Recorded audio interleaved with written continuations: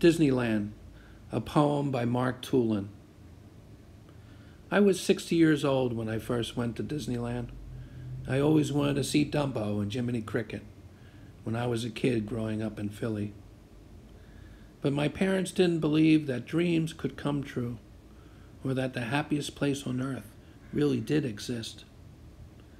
In 2012, Tinkerbell finally sprinkled pixie dust over my head, and when I awoke, I found myself sliding down a massive chute, watching marionettes and puppets harmonize, boarding a train, spinning inside of an oversized teacup, laughing hysterically with Goofy, and taking a spoonful of sugar from Mary. Dreams really do come true, I discovered, as Peter Pan flew around me.